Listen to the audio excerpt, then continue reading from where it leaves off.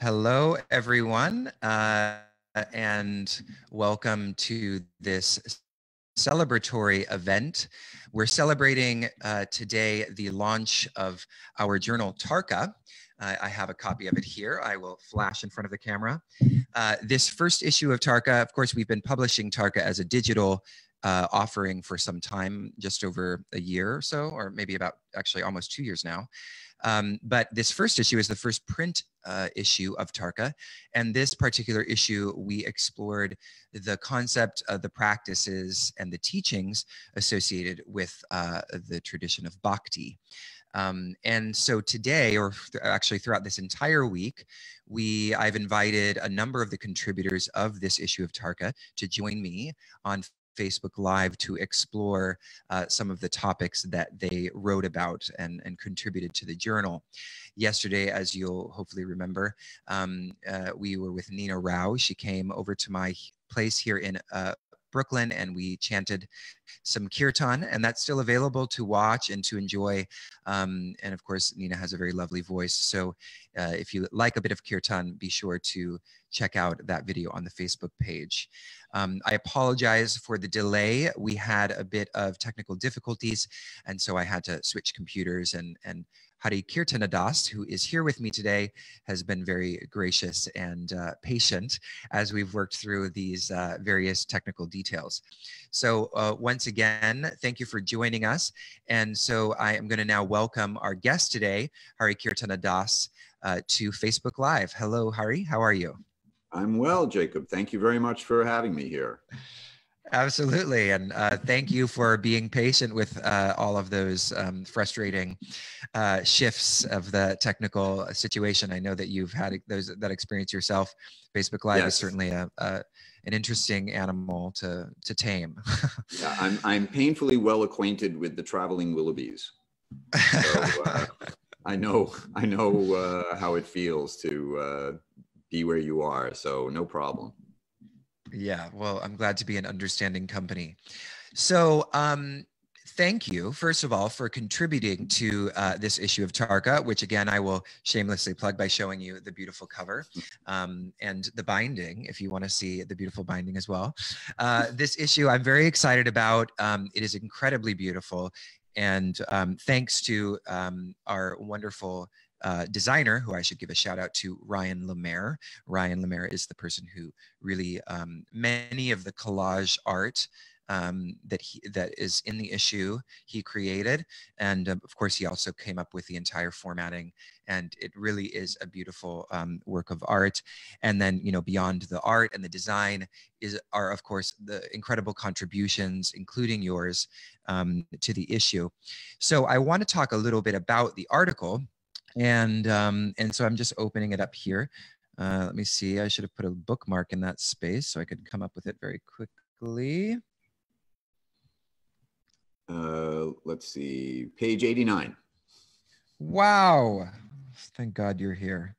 Uh, so uh, the the article is called "The Two Kinds of Oneness," uh, Sri Chaitanya's synthesis of duality and non-duality. Of course, duality and non-duality are really popular uh, topics today. You know, especially in spiritual circles, circles, duality is often you know the bad guy, and non-duality the good guy Of course, that then of course collapses into a dualism of its own, which is uh, the fascinating, you know, paradox. Um, so I want to talk a little bit about that, and of course how it pertains to the work of Sri Chaitanya. But just to, uh, as a way of preface into that conversation, I just wanted to read the first three um, sentences or three to five sentences of your article because it, it starts in a very sort of lovely poetic way. Conventional wisdom tells us that the paradoxical language of yoga's ancient spiritual literature signifies absolute oneness, that despite only appearance to the contrary, we're all one. The speculative metaphysics of neuroscience suggests that human psychology is just an autonomic meme machine with no one at the controls, that despite any appearance to the contrary, we're all none. Western religious traditions claim that an all powerful, all knowing, and ever present God created the world and us along with it, that despite any appearance to the contrary, we're all loved. Contemporary seekers look, looking for a coherent resolution to these conflicting messages need look no further than Sri Chaitanya Mahaprabhu's radical concept of achintya abheda bheda tattva, the truth of inconceivable simultaneous oneness and difference. So this is a really beautiful, you know, beginning to the article. It's probably one of my favorites, um, and and I think you know it's an incredibly resonant article for you know this current cultural context which i'm sure is partly why you wrote it um, because of this you know sort of like i was mentioning this maybe misunderstanding of the relationship with duality and non-duality oneness and difference you know and one kind of being castigated you know and one and the other kind of prioritized. And so you know or you know valued at the expense of the other so you obviously uh, seem to be suggesting with your article that there is sort of a middle path, as it were, or there's this way of synthesizing these two that isn't so, um, you know, doesn't default to this kind of, you know, good guy, bad guy kind of scenario. So can you talk a little bit about that and your inspiration behind writing this article? Sure. My inspiration uh, behind writing the article goes back to uh, when I first became a yoga teacher. This is now 11 years ago, a, a yoga teacher in the modern conventional sense of the word. I've been practicing yoga for uh, 48 years now, uh, more or less, mm-hmm. uh, and lived in devotional yoga ashrams when I was uh, in my 20s. And uh, it wasn't until much later that my teachers told me, you need to find a platform for teaching, and yoga, you know, teaching yoga in the modern sense became that platform. So one of my, I was speaking with one of my teachers about my experience in the yoga community and how there seemed to be a, a sort of default assumption that uh, everything, every different aspect of yoga philosophy resolved in uh, a sense of absolute oneness, that we're all one. And uh, my teacher, Ravindra Svarupa Prabhu, uh, said to me, Well, you ought to tell him that there's two kinds of oneness. And what that mm-hmm. means is there's qualitative oneness or our shared spiritual nature uh, that we are all Brahman, and a quantitative oneness that we are at the same time an uh, unique individual, that our individuality is validated by Vedic teachings, and that we're all an infinitesimal part of an infinite complete whole. And there's a relationship between the part and the whole, and that relationship in its uh, state of complete fulfillment is one of transcendental love. So that's where the uh, idea for this article actually has its uh, seed planted, uh, which is about 10 years ago.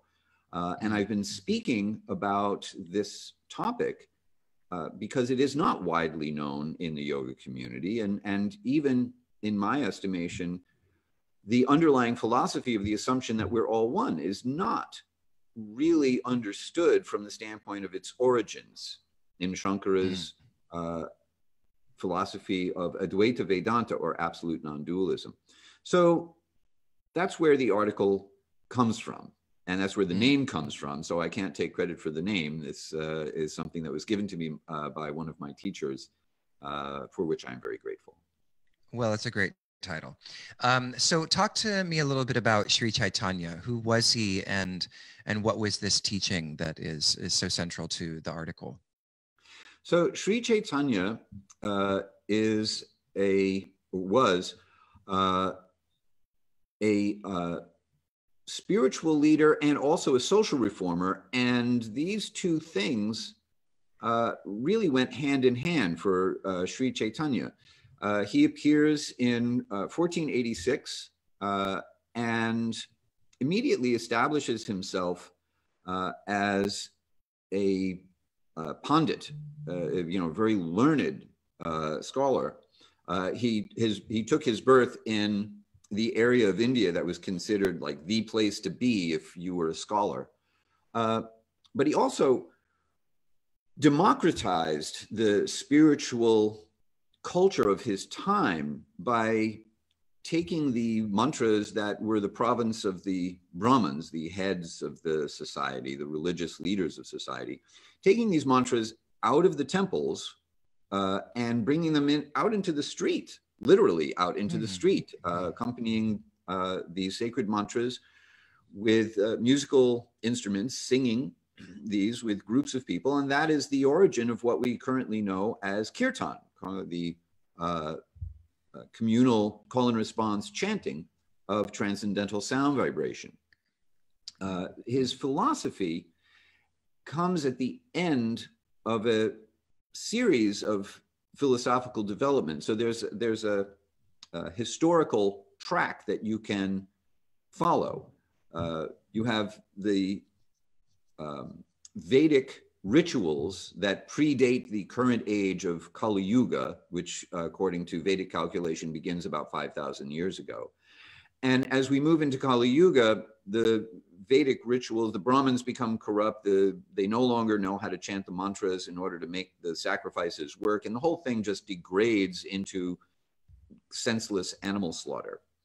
The Buddha appears and ends this uh, senseless animal slaughter in the name of Vedic rituals by disavowing the authority of the Vedas altogether and coming up with an entirely new philosophy. Um, then, sometime later, Shankara reestablishes the authority of the Vedas by presenting an interpretation that sounds a lot like Buddhism, namely that Brahman, the absolute truth, has no name, form, qualities, relationship with anything or anyone. And what you get is something that's nothing because it has no qualities that sounds a lot like emptiness. So in this way, you have like a, a, a reestablishment of the authority of the Vedas through an interpretation of the Vedanta Sutra and other Vedic literature. Ramanuja, Madhvacharya, other subsequent teachers in the Vaishnava lineage uh, go on to actually refute Shankara's philosophy of absolute oneness with varieties of dualism and uh, conditional dualism and combinations of dualism and non dualism. And it all ends with Sri Chaitanya, who establishes this synthesis of duality and non duality, that you can actually have both at the same time. And he provides a rational explanation for how that is so. And my article is basically a revelation of what is Chaitanya's philosophy and, and uh, how does it make sense in relationship to these other philosophies that we generally assume to be the philosophical foundation of what we experience as yoga in the modern uh, in our modern right. life so that was a very it's an interesting um, and what i hear you suggesting and this was actually something that i was very recently reading as well which um, is why it's on my mind is is that are, are you suggesting that the the that shankara's philosophical articul- articulations were were in some sense kind of a reaction against the buddhist uh, teachings uh, that like that a lot of that um, philosophical development really was in response to what the the what the Buddhists were articulating at that time. Is that what is that partly that the way of understanding it? Yes, yes, that's uh, very much what it was. Um, the uh, one of uh, Shankara's accomplishments is reestablishing the Brahminical culture of the Vedas in a time and place when the Vedic culture and the Brahminical culture had been displaced uh, by Buddhism. Uh, and, you know, this is one of the things that I really like about uh, what you've done with this issue of Tarka, uh, which is actually uh, very, very helpful to people who are interested in, in, in bhakti we have uh, an idea because we want to be inclusive and we want everybody to get along uh, that uh, there are many paths and one truth. And so there's yeah. really no difference between Buddhism and Advaita Vedanta and uh, Kashmiri Shaivism and Vaishnavism, that it all like, you know, ends up in the same place. Um, but if you think of the truth as a mountain, uh, there's lots of different ways to get up the mountain. The mountain looks different depending on where you're standing. Some paths go all the way up the mountain, like the beginner's slope, if you're going to ski down, does not go all the way up the mountain. Uh, it, there, you can wind around the mountain, you can go straight up, it can go halfway, you can go three quarters, and it, you know, it just doesn't all land in the same place, even though there's always a relationship with the truth in some form or fashion.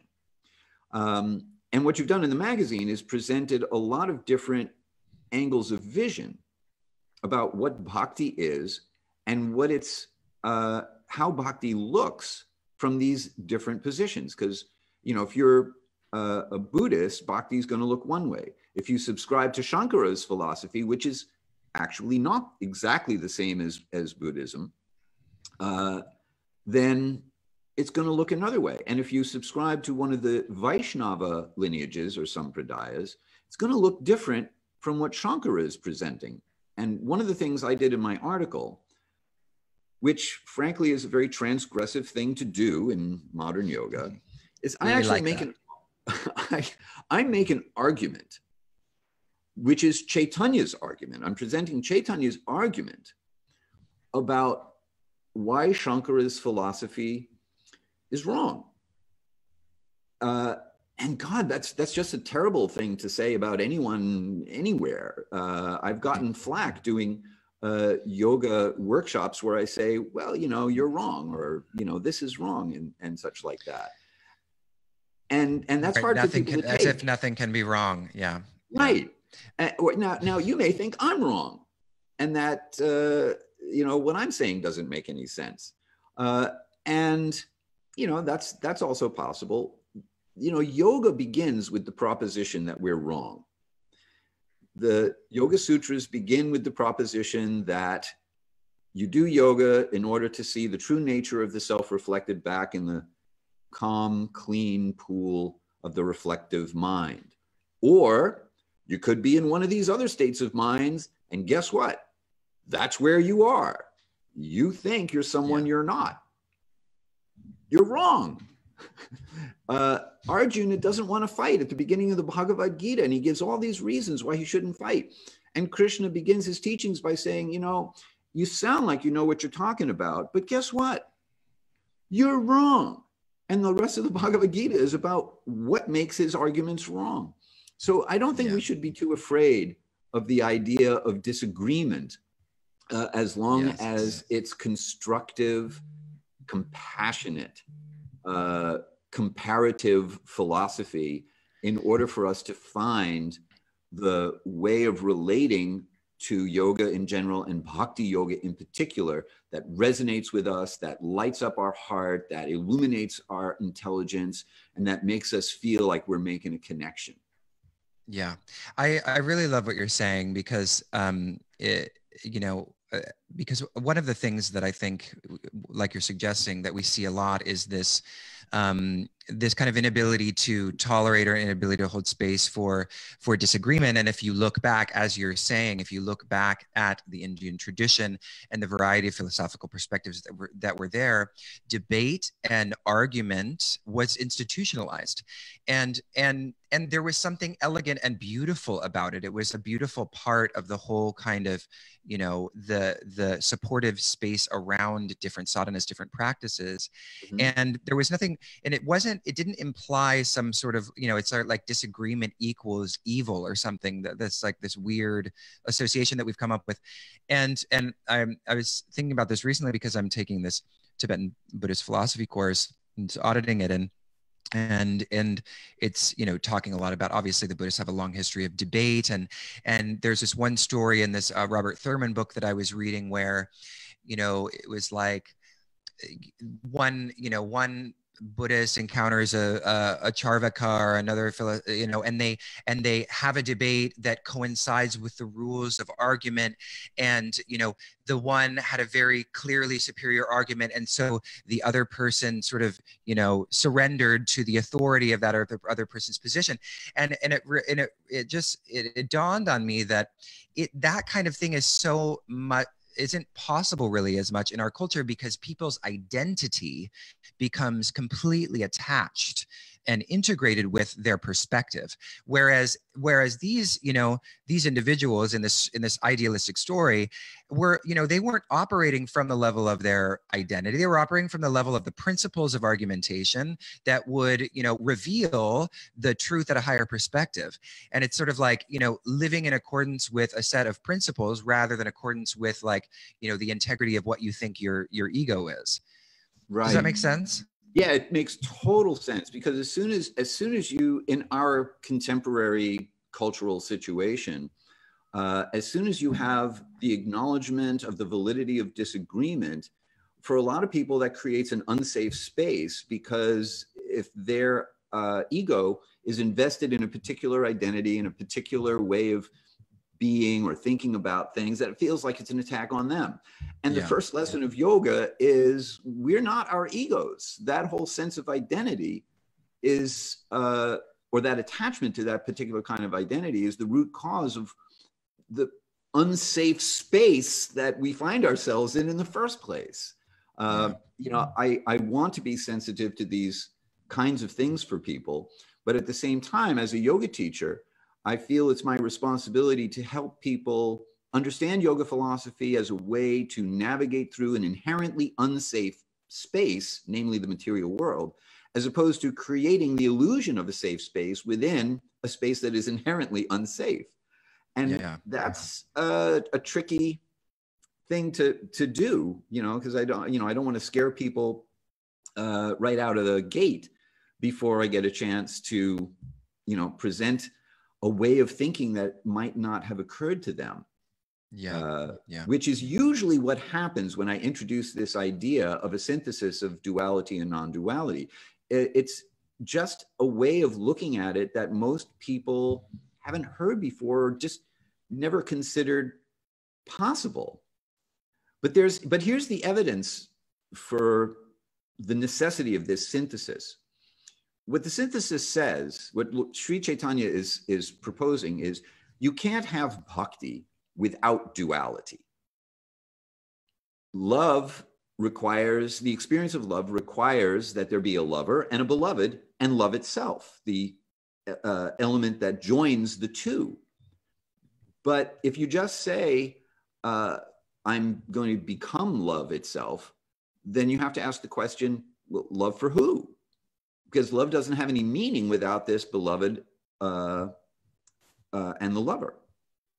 So, uh, what happens when you look at non duality, absolute non duality, is the only way you can explain it is by using dualities.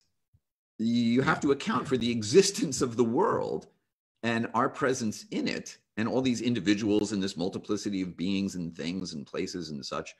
And even in, as you'll read in my article, even in Shankara's philosophy of absolute non dualism, he relies on a two tiered conception of reality in order to explain it. So we have this persistent two-ness that keeps showing up in everyone's explanation of oneness. Yeah. And it's Sri Chaitanya's synthesis of these two that uh, allows both of them to be taken into account in a valid way that makes sense. And so that's what I tried to present in my article. yeah i really i really like that and i um uh i appreciate this this point about non-dualism because one of one of the most frustrating things for me is that you know someone it's very popular like i was mentioning at the beginning to say something like oh i have a non-dual perspective or i'm non-dualist and even to be in language, even to use linguistic categories, is to be in dualism. You can't escape it. You can't. And to be a non dualist suggests that there are those that are not non dualists, which is itself a dualistic statement.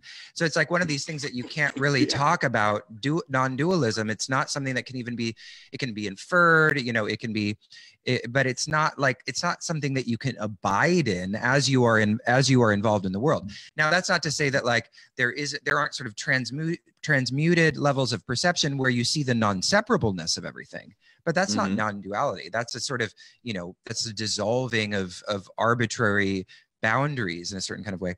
So i really like what you're saying. And and and you know just to go back to this point about the status of argument and debate i think it's incredibly important. And it's one of the things i actually really want to encourage that's part of the spirit behind embodied philosophy is bringing people with different perspectives together and trying to encourage them to have conversations with each other to not take those you know disagreements personally and to really work towards clarity and also to have some humility around your own perspectives so that you mm-hmm. can move towards you know a, a kind of refined knowledge because it because there is i think you know where you probably you stand as well is that all this sort of like melting pot of categories and philosophical systems and an inability to look at them too cl- or an unwillingness to look at them too closely because you know you only want to see that they're all the same is leading mm-hmm. to a mm-hmm. profound amount of confusion i feel like um yeah. in and confusion isn't necessarily beneficial to the yogic process so can you talk a little bit about that and maybe specifically as it relates to this idea that we're all one and and and maybe uh, you know how does the how does the the the kind of principle we're all one mm-hmm. um uh, serve as an obstacle to the process of yoga? You've already been talking about it a little bit but i'll just ask it more pointedly well, I'll, I'll, elaborate on it but um, you know first of all i just want to say i think you do a great job of uh, bringing a variety of philosophical viewpoints together in embodied philosophy and especially in this uh, premier issue of Tarka because if someone reads, uh, my, yeah, if someone reads, uh, you know, one of the articles by one of the other authors, um, and then reads my article, they might think, wait a minute, I thought I was reading a magazine that was all about the same thing, and this looks like two different things. You know, if you had swapped authors uh, and their articles, uh, like uh, if you had had uh, Pranada Comtois uh, write about the Narada Bhakti Sutras, uh, then you would get a very different conception of what the uh, Narada Bhakti Sutras uh, are telling us from the uh, uh, article that's there. Uh, uh, I forgot. Marie, uh, Marcy Braverman Goldstein. Yeah, now I know Marcy, uh, and uh, you know she's so she's got one perspective uh, on that particular uh, scripture, uh, you know, and I know Pranada would have a, a different one. Um, so the fact that you've got these varieties of points of view in this one magazine about presumably the, the same topic is, I think, a, a wonderful service to readers uh, in order to uh, mitigate some of this confusion because it makes clear that there are varieties of uh, conceptions of bhakti and uh, what the ultimate goal is, um, and therefore what the purpose of the practices are, and an understanding of what the relationships are. And those are the three different categories of Vedic knowledge knowledge of relationships, knowledge of practices, and knowledge of the ultimate goal. So, from the standpoint of your question about how does the idea of oneness, uh, how can it be an obstacle to uh, like absolute oneness. I meant to say the the yeah, absolute yeah. oneness. So yeah. Um, well, one way is that um, if you're if you're thinking that the absolute truth is absolute oneness, then what does that say about relationships? Well, it kind of negates them. Uh, it, it invalidates relationships because if the only truth is absolute oneness, then relationships are, are an illusion. Uh, mm-hmm. And the whole idea of a you and a me who could have a relationship is an illusion. So, what do we do? How do we respond to that? Um, well, if we say, well, the illusion is all the dance of the divine, that somehow one has become many and I'm the one, and now I appear to be many, uh, then you know, on, on the upside, we can see in terms of social justice, what is the basis of our equality?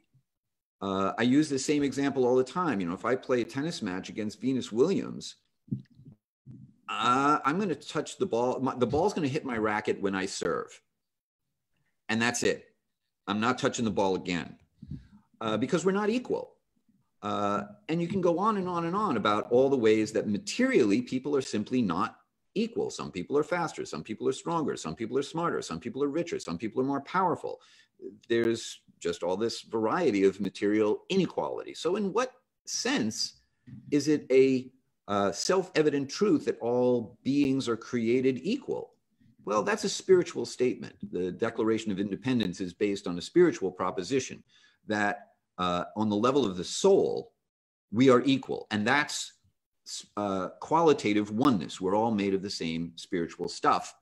And so, in that way, the idea of oneness becomes uh, an asset to understanding what is it that uh, ties us together and provides a basis for uh, understanding what uh, justice should be. Um, mm. On the other hand, if you have this negation of the world and it's just all a big illusion and relationships are all an illusion and it's just the dance of the divine, then it can potentially provide for a rationalization for you to just do whatever you want and then what you end up doing is just engaging in material life that doesn't actually burn up any of your karma or elevate your consciousness or do anything except provide you with a rationalization for enjoying the senses of the, of the material body.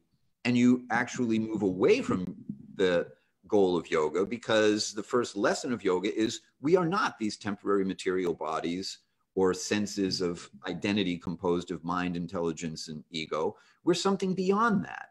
And so mm you know, if our uh, philosophical understanding degrades into a rationalization for material life, we end up going nowhere, uh, or and and you know, spinning our wheels here in the material world doesn't really solve any of our problems on a spiritual level. Yeah. So so it can it can go both ways. Yeah. Yeah. Well, I appreciate that nuance. Um, all right, Hari. Well, we have gone for about 30. I said I wanted to keep it close to 30. So, is there anything else that you want to share, either about Bhakti, your experience with Bhakti, the article, more specifically, um, anything else that would be a nice kind of bring it home uh, moment? yeah, the um, as far as the teachings of Sri Chaitanya go, um, the the conclusion, the philosophical conclusion, is uh, realized in the uh, practice that he recommended, which is mantra meditation, and uh, mm. specifically uh, communal mantra meditation in the form of kirtan. He specifically established the chanting of the Hare Krishna mantra as the practice by which theoretical knowledge becomes realized or experiential knowledge. Um, and this mantra, uh, I mentioned a little bit about it at the close of the article. You know, it's both a, a prayer and a fulfillment of that prayer uh, because it's a request for union with God through the medium of service motivated by nothing but love. And because of a non duality, namely the unity of the Supreme Person with the Supreme Person's names, that is to say, the Supreme Being is absolute, not relative. So it's not like the sound vibration of the mantra refers to something else, but rather the sound vibration of the mantra and the person or persons, in this case, Hare being the feminine aspect of divinity, Krishna being and Rama being the masculine aspect of divinity. The names in the Hare Krishna mantra are not different from the persons who are one person in two, uh, to which they re- refer. And therefore, uh, the uh, chanting of the mantra means union with the persons that you are chanting to. So you get this experience of simultaneous oneness and difference in the very practice of chanting the Hare Krishna mantra. So I would hmm. like to, um, you know, encourage people who are interested in the experience of this radical philosophical idea to try the practice that Sri Chaitanya has recommended, uh, namely the chanting of the Hare Krishna mantra. That's great. Thank you, Hari, for ending with uh, a practice note because that I, I, that kind of um, uh, didn't occur to me to bring that in, and that's an important aspect of it. Is you know how do we embody uh, and sort of imbibe these you know seemingly very abstract teachings. Of course, we love that sort of stuff, you and I. Uh, but yes, at the end of the day, it's not you know, just so armchair people, philosophy. no, exactly, exactly. So um, that's very important. So thank you for for um, uh, closing with that. Sure. So thank you everyone for joining us. Uh, this will be available. Um, uh, it'll be stay on Facebook. You can watch it um, again if you'd like. Uh, it will also be on YouTube and we'll also be um, republishing it as a podcast episode. Um, I just wanted to mention uh, one last time the new issue of Tarka, which is available in print, like here, I have here, and also as a digital issue. Um, and you can and you can subscribe to the entire um, uh, uh, series of them, or as first you can subscribe to an annual subscription and get four per year um, or you can get just a single issue. Um, and you can do that at embodiedphilosophy.com forward slash Tarka. Again, that's embodiedphilosophy.com forward slash Tarka. And I am just going to see before we close if we happen to have any questions. I didn't mention it before, so people probably weren't even thinking in that way, but I guess it's worth um, checking out. Question. All right. No, we didn't. That's great, though. All right. Well, Thank you, everyone. And if you have any questions for me or for Hari, you can leave them in the comments if you're watching this at a later time, and uh, and uh, and I'll keep an eye on it and let Hari know, and perhaps he can chime in. Uh, uh I'll. I'll, be happy to look for questions, um, and uh, if uh, audience members can tag me in their question, or Jacob, if you can, if you see something that I haven't gotten to yet and you want to tag me, uh, if it's a question that's directed to me, I'm always happy to uh, receive questions and engage in dialogue about this sort of stuff. This is my awesome. idea of a good time. Yeah, super good time. So, Hari, why don't you tell us maybe something, um, maybe how people can get a hold of you or how people can learn from you and anything you have coming up if you'd like to share? Sure. Um, my website is hari-kirtana.com uh, H A R I dash K I R T A N A. Uh, I have a free Bhagavad Gita class every Thursday night. I'm heading into the home stretch with that, but anyone who subscribes to this free class uh, can get access to the recordings, which as of this Thursday will be 100 classes on wow. the Bhagavad Gita. I'm going to actually be able to finish it up with 108 classes. I'm so happy it worked out like that. That's crazy. Um, so you'll have uh, uh, access to that. And I also have um, a free online master class called Sanskrit Made Simple for Yoga Teachers. That's also right on my homepage. So if you'd like to check that out, um, it's free. Awesome. All right. So check out hari-kirtana.com for more and all those exciting free offerings you have. That's amazing. All right. Thank you so much, Hari, for joining me today. And we'll see you soon. Jacob, thank you very much. It's always great to talk to you.